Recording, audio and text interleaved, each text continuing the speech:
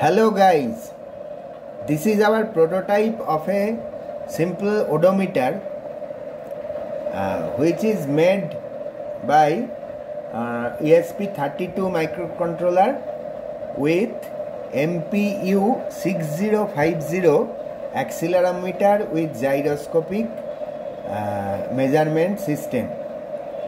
Now, um, it is uh, it will show the distance traversed by a vehicle when it is attached to the vehicle. Now uh, see uh, here it is running.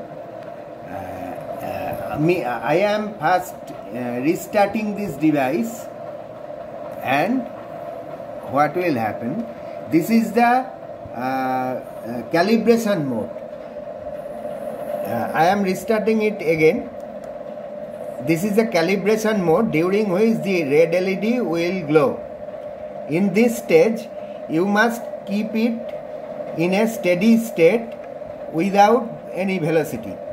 Now it is running indi uh, indicated by the green LED which is glowing now and see the uh, serial monitor in the laptop where distance is showing 0 because we uh, just restarted the system and it uh, it is steady state now.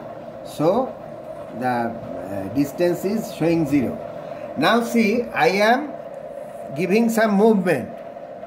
Just forward reverse etc forward reverse and accordingly the distance is increasing. You see as we move the uh, device and the distance is increasing.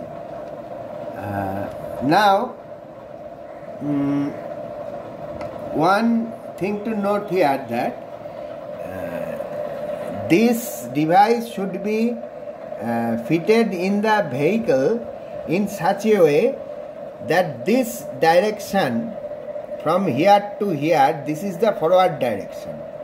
This is the forward direction. So the device should be set in the vehicle so that the this will uh, uh, travel in this way when the vehicle goes forward.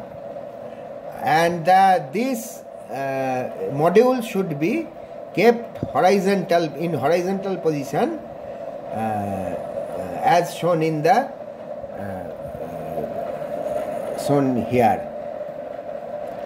So that is how it works. Thank you for viewing our video